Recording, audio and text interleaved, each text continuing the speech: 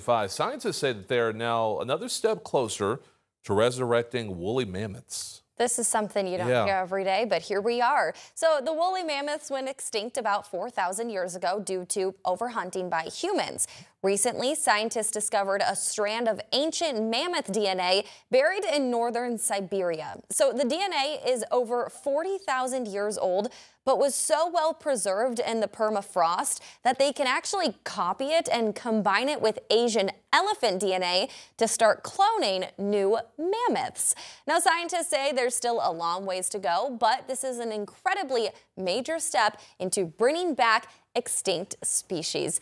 This is something that's going to be very interesting to watch. I mean, Chase has to get in on this. He's our I'm science trying to, guy. I'm trying to fix the graphic real quick. Hold on. So, big debate. That's why he's here. Woolly mammoth, like, is it in the dinosaur category or is it not? I feel like it should. be. Yeah, But I, at the same time, like, the direct descendant is the elephant.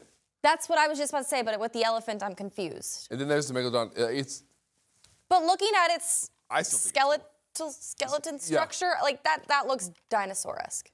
It's a it's a Elisar.